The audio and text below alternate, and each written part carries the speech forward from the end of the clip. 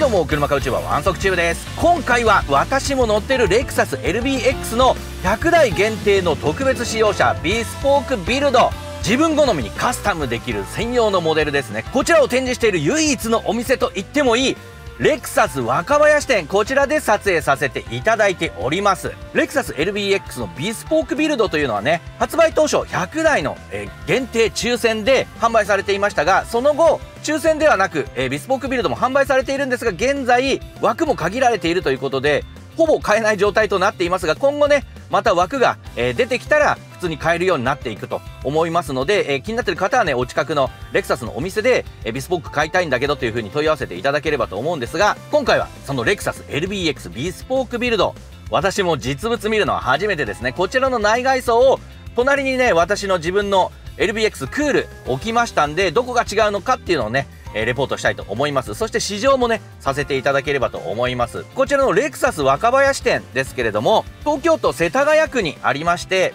日本全国のレクサス店舗の中でこちらの若林店のみ LBX ラウンジというねレクサス LBX の世界観を表現したスペースが設けられています。これがあるのは若林店だけですのでレクサス LBX を検討しているとそしてビスポークビルドを検討しているという方でどういうね、え素材があるのかとかビスポークビルドはねもう何種類もある素材の中から自分好みの1台を選ぶことができますんでシートの表皮とかね、え糸の色とかそういったものまでボディカラーを含めてもうフルカスタムできますんでそれらの素材がねこちらに置いてあるということなんで LBX の世界観そしてビスポークビルドのこうチョイスをね検討したいという方はねこちらのレクサス若林店足を運んでこの LBX ラウンジで見てみると良いんじゃないでしょうか。LBX ラウンジは特に予約とかなくてね、えー、見れるということなんですがその後ね試乗とか見積もりとかをしたいという場合はですねアポイントを取っといた方がいいと思いますのでレクサスの公式ホームページからね、えー、レクサス若林店のえ試乗とか見積もりのね予約のフォームがありますんでそちらからねえアポイント取って来場された方がいいんじゃないかなと思います。見るだけだったらアポなしでも OK ということです。でこちらのレクサス LBX ビスポークビルドですけれども車両本体価格が550万円となっています。通常の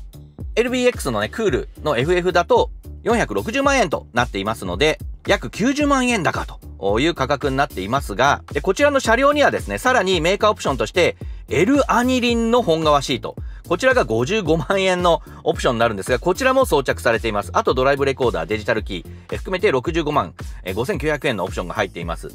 で、こちらの LBX のビスポークビルドにはですね、通常のクールやリラックスではオプション扱いのマーク・レビンソンであるとか、ヘッドアップディスプレイであるとか、そういった安全装備とか運転支援とかも込み込みになっていますので、車両本体価格の差よりは、実際にはオプション分がね、含まれてるんで、そこまでは高くないんですが、ただこの L アニリンの本革シートをね、つけてしまうと、まあ結構お高い価格差になってくると。で、これらが含まれた価格が612万5900円となっています。で、私ね、レクサス LBX Cool Relax でオプションつけたもの、オプション絞ったもの、そして、えー、ビスポークビルドの見積もりなどもブログでまとめていますので下の概要欄リンク貼っておきますので LBX 検討されている方はね購入前の注意点なんかもまとめていますので、えそちらチェックされた方がいいと思いますはいそれではねエクステリアから撮っていきたいと思いますがこちらがビスポークビルドの LBX ですねパッショネートイエローとえブラックのツートンカラーになっています。このカラーもねめちゃくちゃ種類があって、まあ、その中から好きに選べると。しかもビスポークビルド専用のボディカラーも選ぶことができるというのが通常の LBX と違うところですね。で隣に置いてあるのが私のクールですね。ナンバー隠しがついている方が私のクールですけれどもこちらもツートンカラーになっています。はい、こうして見比べると、まあ、エクステリアは似てはいますけれど一部違うところあるんですよね。細かく見ていきましょう。でこちらの LBX のビスポークビルドが違うところですがボディカラー以外ではですねここの、えー、リップのところですねここにシルバーのパーツがついています。ここが、まあ、通常のグレードだとついていないというねこういう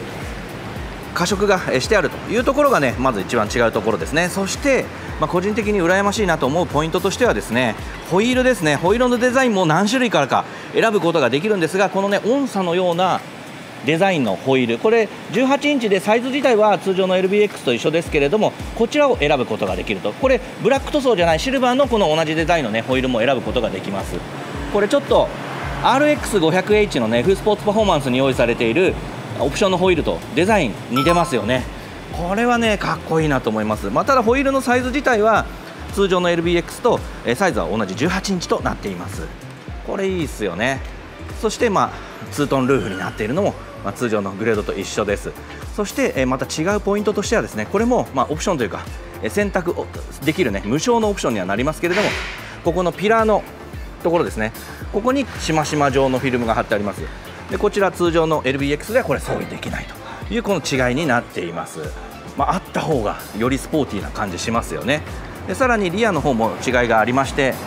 まあ、リアビューもね、えー、LBX かっこいいんですけど、まあ、通常の私の LBX と比べるとどこが違うのかというとですねフロントと同じでですね、えー、ここのリアの下部のところにこうシルバーのラインが入っているというところが違いとなります。でこちらが、えー、通常の LBX ですがリアのねシルバーのライン入ってませんよね、はい、こうして見比べるとありなしと。まあ、結構まあ控えめな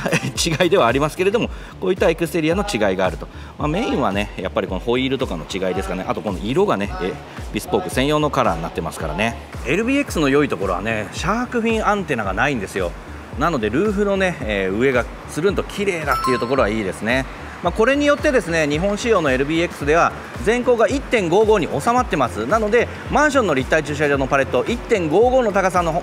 パレットにも入るというのはね都市部で住まわれている方は嬉しい方多いんじゃないでしょうか。続いてねビスポークビルド内装も見ていきましょう。はいドアを開けるとこんな感じですね。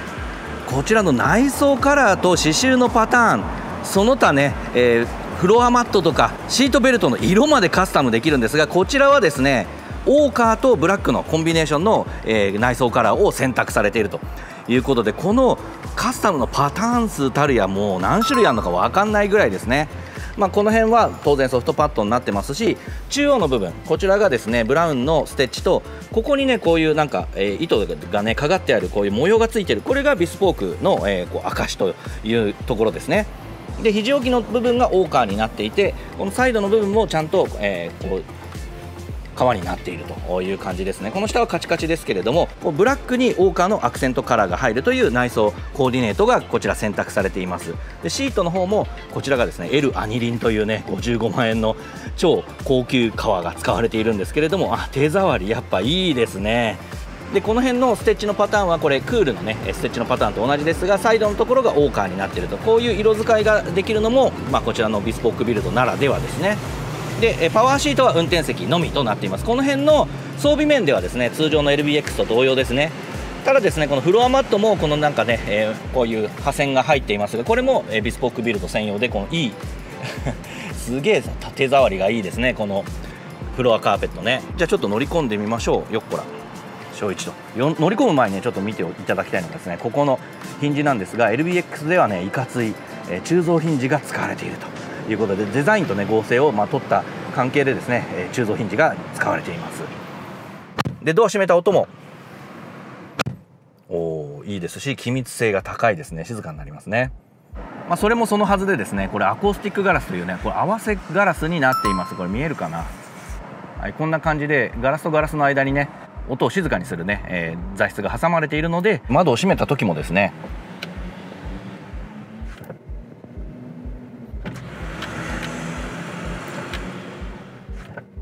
はい、このようにね、スンと外界から遮断されたような静けさがあります。レクサス LBX ビースポークビルドのインテリア前景はこんな感じですね。基本的に内装のデザインとかですね、えー、レイアウトとか、機能とかは通常の LBX と同じとなっています。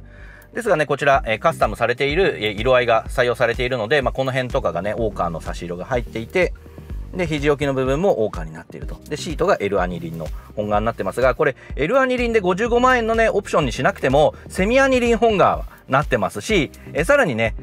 ウルトラスウェードの、えー、シートも選ぶことができるので、本当にね、まあ、L アニリンにしなくても、まあ、内装カラーはかなり選べます。まあ、ただ L アニリンにした方がね、えー、選べるカラーのバリエーションも増えますからね。これが L アニリンのね、内装カラーのコンビネーションですけども、セミアニリンでも、はい、このぐらいの内装バリエーションはあるとさらにウルトラスウェードっていうね、ファブリックも選ぶことができますが、え、選べる内装カラーの色合いはま2色ぐらいという感じですね。で、ビスポークビルドで違うところとしてはですね、ここに、レクサス LBX ビスポークビルドというこういうバッジというかワッペンというか、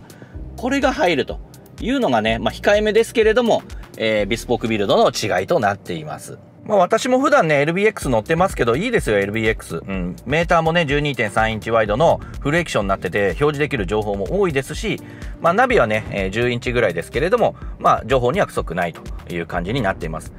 まあ、ディスプレイオーディオプラスだったらなお良かったなと思うところですけども、まあ、これでもルートガイドとかそこまで、え、問題はないです。で、こことかもね、えー、オーカーになってるし、ここに下にね、ちょっと、えー、二重底みたいになっていてここにティッシュとか置けるんですよ。私ティッシュ置いてます。ちなみにね比較用に私の LBX クールの内装も見てみますがはいこんな感じですね。ドアを開けるとこんな感じ。でここはソフトパッド。でここはウルトラスエードになっています。でまあこれねゴールドっぽいねステッチがついていてこの辺もウルトラスエードになってるんでこう全体的に温かみのあるちょっとねファブリックの質感になっています。シートもこんな感じですね。ここはちゃんとセミアニリン本革になっていて、え、ウルトラスエードになっていると。サイドのところはセミアニリン本革になっているという感じですね、まあ、結構見た目も違いますよね。レクサス LBX クールのインテリア前景はこんな感じですね。クールだとま内装からはこちらの1種類になります。ちなみに後部座席もちらっと見ていきましょう。リアドアを開けるとこんな感じですね。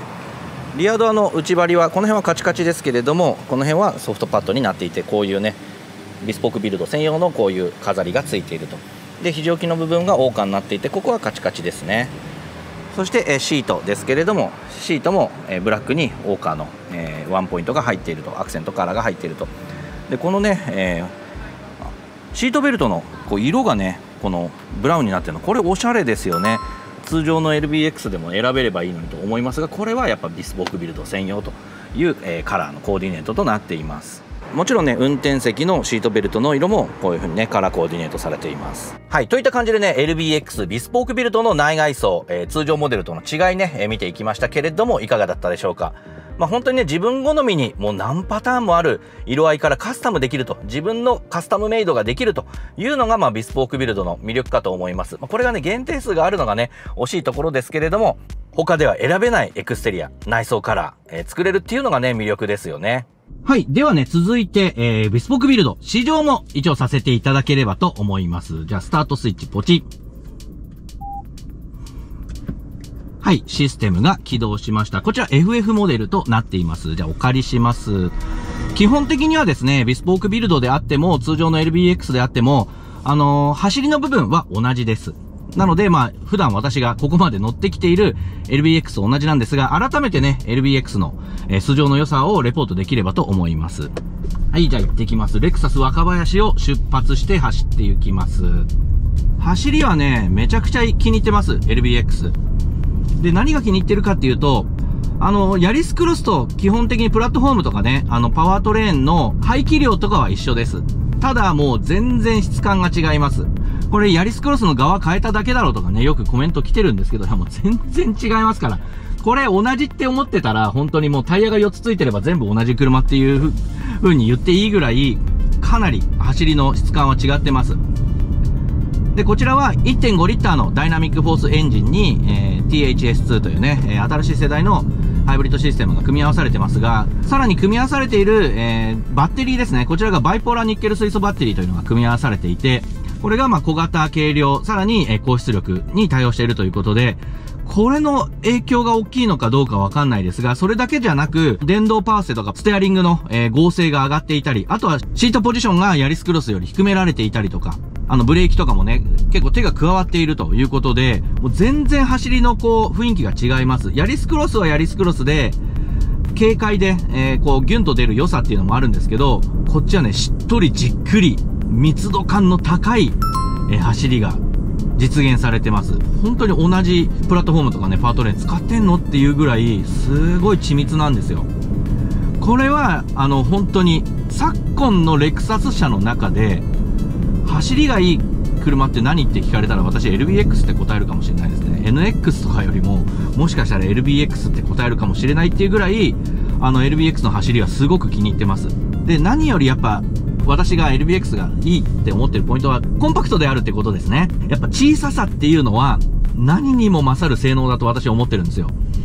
だから LX とか RX も乗ってましたけど、まあ、億劫。もうどこに連れ出すにもドアパンチされないだろうかとか、どこ止めるんでも誰も来ないだろうかとかね、トナラは来ないだろうかとかね、そういうのを気にしながら、こう、おっかなびっくり乗るみたいな、あの、大事に大事に乗らなきゃいけない。まあ、これ LBX も大事に乗ってるんですけど、やっぱり全幅が全然違いますんで、都内とかに出かけた時に、コインパーキングとかに止める時にも、やっぱり大きさっていうのは、あの、ストレスになるんで、そういう意味では、LBX であればですね、ひょいと、えー、連れ出しやすい、こう、サイズになっていると。全幅もね、1.85に余裕で収まってます。で、全高も先ほど言ったように嬉しい、1.55に収まっていると。日本仕様は収めてきたと。シャークフィンアンテナ外してきたというところはもう本当に大拍手なんですけども、これによって、一般的な、えー、マンションの立体駐車場のパレット、全幅も全高も全長も OK ということで、えー、都市部に暮らす人の、えー、車、移動手段としてはベストなサイズになってるわけですね。しかも、それが、えー、小さいからといって装備が簡素であるとかプアであるとか質感が悪いとかっていうことではなくプレミアムな、えー、コンパクトカーっていうのってなかなか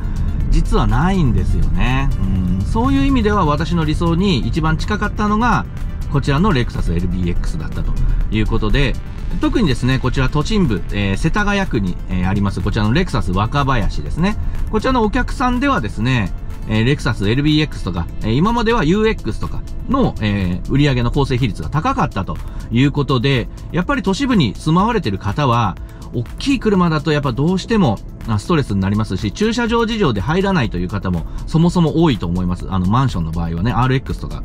NX とかですら入らないんで、まあ、そうなると、レクサスの選択肢としては、まあ、UX とか、こちらの LBX が、えー、良いと思いますし、やっぱ全高が1.55に収まってるのはね、ほんと素晴らしいなと思いますね。あとは家族のセカンドカー、奥様とかが乗る場合、大きい車だとちょっと大変よっていう方にとっては LBX ぐらいのサイズがちょうどいいんじゃないかと思います。でね、アドバンストパーク。で、オプションにはなりますけれども、こちらのビスポークビルドには標準ですが、アドバンストドライブっていうね、高速時の、え、渋滞中に40キロ未満でハンズオフができる。こういう先進の運転支援もついてます。まあ、そういうのがなかったとしても、アドバンストパークがついていればですね、えー、リモート駐車ができるだけではなく、センサーの数がアドバンストパークついている車増えます。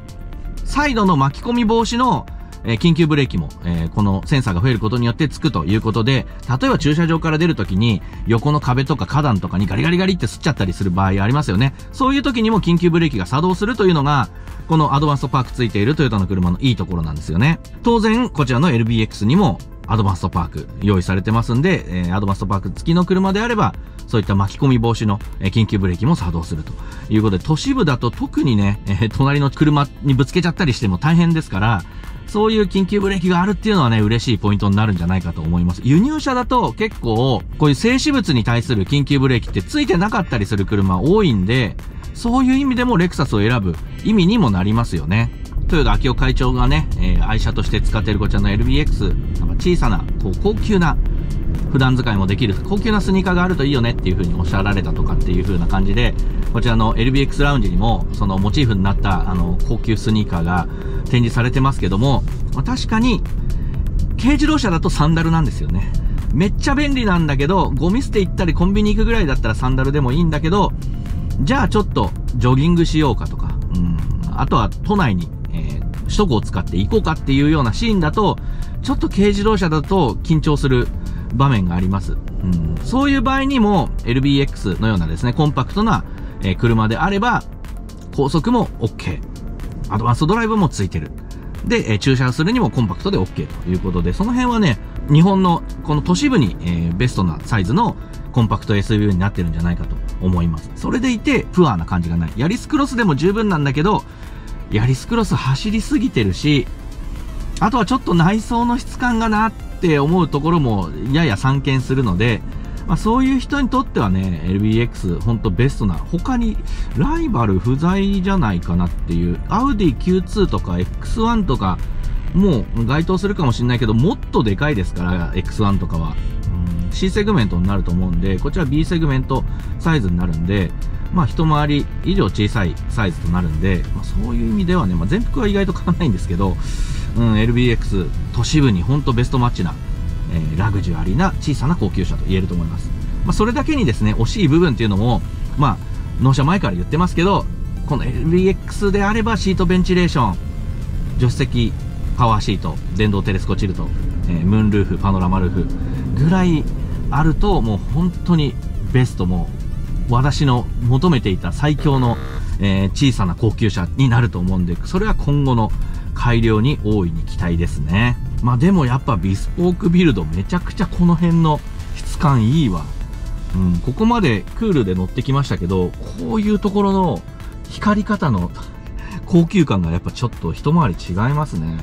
いや、いい車だわ。で、私もね、以前、もし車を3台に減らすなら、とかっていうね、テーマで、えー、動画を撮ったことありましたが、そこでもね、選ばれたのは、綾鷹でしたって感じで、LBX がね、残ってたかと思いますが、まあ、そのぐらいやっぱ小さい車っていうのは、あの、価値があると思っています。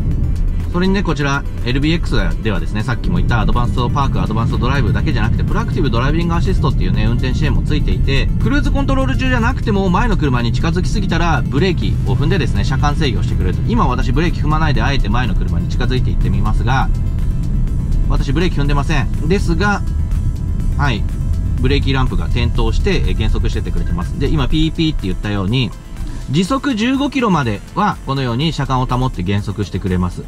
それでもブレーキ踏まなかった場合は、ピピピピっていう警告が出て、それでも踏まなかったら、プリクラッシュセーフティーが働くという感じになってるので、まあ、15キロまで減速していれば、プリクラッシュセーフティーで、まあ、安全に止まることができるので、追突するリスクっていうのはかなり軽減できるという、こういうね、運転支援もついていると。歩行者、自転車がはみ出してきた時には、ブレーキと、えー、回避制御のね、ステアリング制御をしてくれたり、あとはコーナーに進入する速度が速すぎたり、ウインカー出してんのに交差点に進入する速度が速すぎたりしても緩やかに減速してくれるっていうようなね事故を未然に防ぐような運転支援もこちらの LBX には搭載されています。なので、まあ、自分が乗るときはもちろんご家族が乗られる車として選ぶんでも、まあ、事故をね減らすことができればまあ、ご家族の命だけじゃなくてね、誰か人引いちゃったなんてことも回避できるわけで、まあ、そういう意味でも1台しかも例えば選べないっていう風になった時には LBX っていうのはかなりね、選択の上位に上がってくる車じゃないかなと思います。といった感じで、レクサス LBX B スポークビルド内外装と市場、そしてレクサス若林のお店見てみましたけれども、いかがだったでしょうか。こちらのね、LBX ラウンジにはね、2024年8月現在ですね、LBX 森蔵 RR の、まあ、コンセプトモデルが展示されています。森蔵 RR がね、現在見れる店舗っていうのもかなり貴重ですので、えー、森蔵 RR のね、カタログモデル、えー、検討されている方っていうのはね、こちらの若林のお店ね、足を運んで、えー、現物見てみると良いかと思います。日本全国でもこちらの若林店だけ LBX ラウンジがありますからね。他にもエレクサス LBX のね、ボディカラー3種類、展示されてますんでいろいろね実写のカラーとかね内装カラーとか見たいという方もね、えこちらのレクサス若林店足を運んでみるといいんじゃないでしょうか。商談とかね試乗される場合は事前にホームページから予約していた方がスムーズかと思います。車でも何でもね欲しいと思った時は買い時ですからね好きなもの買って経済回していきましょう。それではあなたの物欲を刺激する車買うチューバーワンソクチューブ次回もお楽しみに。